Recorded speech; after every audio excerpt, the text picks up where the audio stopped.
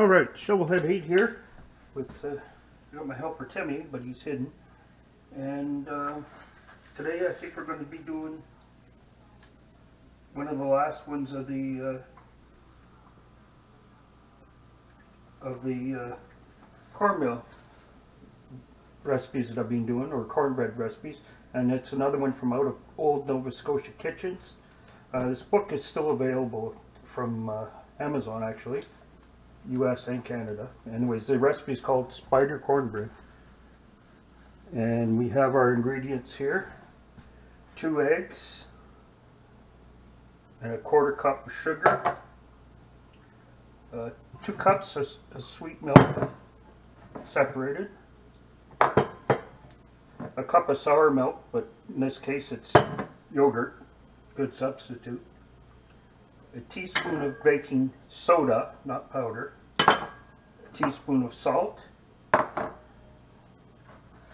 one and a two-thirds cup of cornmeal, and a third of a cup of flour, and somewhere, yeah, two teaspoons of butter to, to oil up our pan. So anyways, I'm going to put parts of this together and then we're going to come back to uh, to put it in the pan. Okay, we're back. And just in case there's confusion, a spider is not an insect thing that you find in your kitchen, but a cast iron frying pan with little legs on it, like a like a Dutch oven. And I sure would like to have one, but uh, they're pretty pretty hard to find. So anyways, we're going to put this together this is to put our pan on later.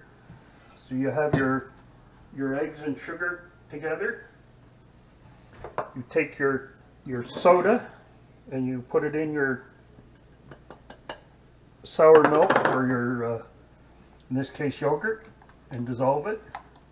Mix it up. That would be your your acid and your soda for, for your leavening to uh, raise your bread along with the eggs.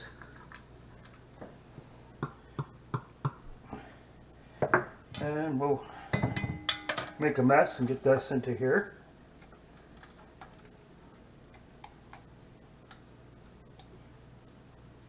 It's fizzing already, so we know it's good stuff. And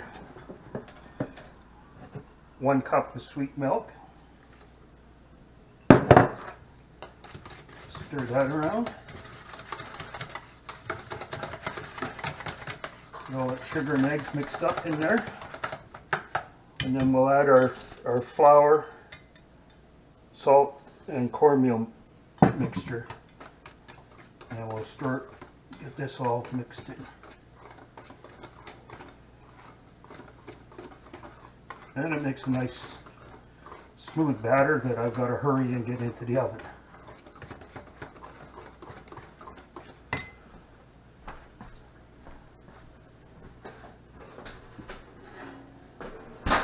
Comes our pan. She's a cooking. In goes our butter. Get it all buttered up. Might not need all of this. And we probably won't use it because I don't want a mess and smoke alarm going off. So anyway, we'll take some of this out. It'll be good. Okay, This goes in here, like so.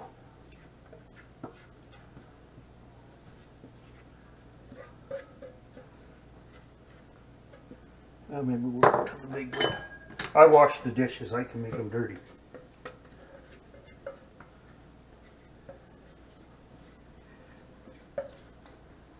So your batter goes into your pan like that.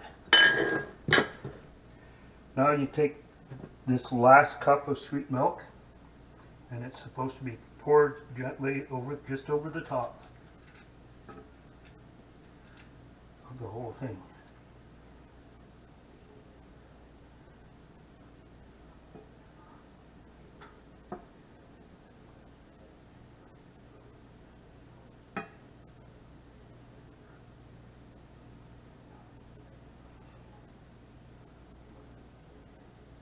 And you don't mix it in. And you look in vain for your hot, your oven mitt. And we'll put that in the oven for 20 to 30 minutes.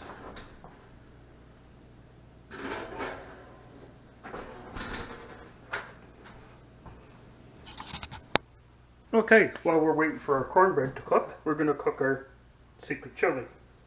Our secret is we're going to use canned stuff. So we get two different cans, a stag, only because that's what's in the cupboard. So we'll prep it by pouring it in a pan.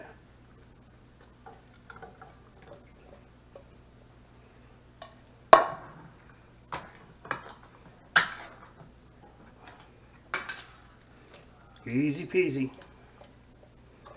And we'll turn on the fire. And that's it for chili. We'll come back when our cornbread's ready. Okay, so head eight, we're back. We're going to take our cornbread out of the oven.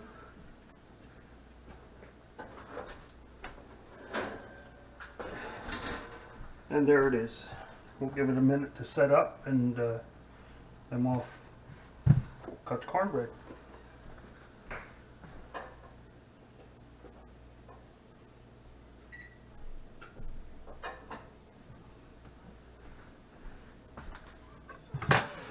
And there's our chili. So we're gonna plate this up and dish it out and uh, we'll take a look. Okay, I forgot.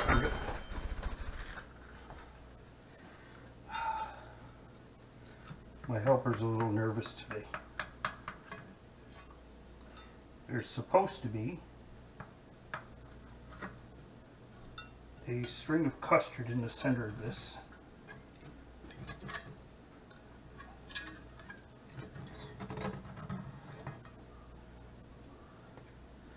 So anyways, there's our cornbread.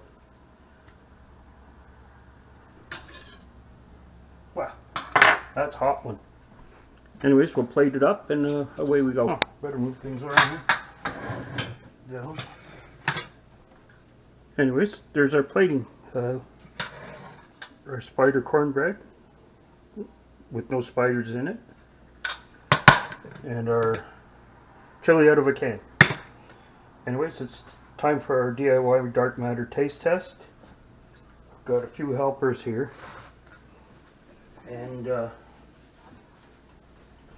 we're going to do it upstairs because downstairs is the usual taste test room is not so good right today. So anyways, we'll come back with the with the taste test. Well, we have one taste test dog till he leaves to go see what mommy's got. Anyways, we don't need him. Okay, so now we're ready for our DIY dark matter taste test. And if you can see, there's a ring of custard in custardy stuff in, in this cornbread, which Timmy and I are going to try right now. And it meets his seal of approval.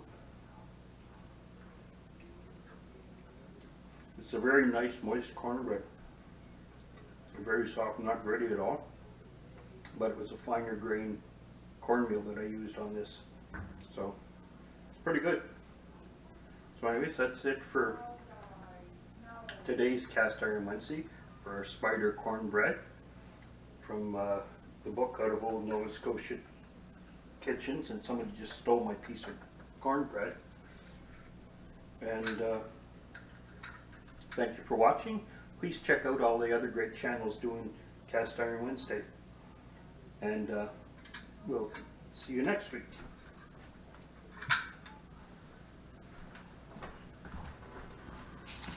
it's blooper time. If uh, you don't look really close at what you're doing when you make a recipe and get your ingredients together, instead of cornmeal on the right, you pull out semolina on the left, and uh, you end up with semolina cake instead of cornbread. So anyways, uh, we're going to have to fix that up and redo it. But that's my big blooper. And here it's properly made with cornmeal, not semolina. I did cut down the, the sugar down to a, a tablespoon from a quarter of a cup. And I raised the oven temperature, but it still took quite a bit longer to cook than they said.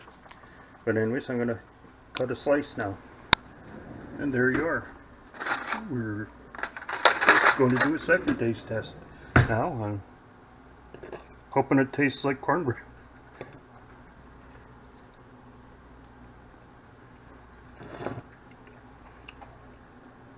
That's quite good. Less sugar was, was the way to go. And cornmeal too. Anyways, thank you for watching my blooper cure. And I'll see you next week on Cast Iron Wednesday.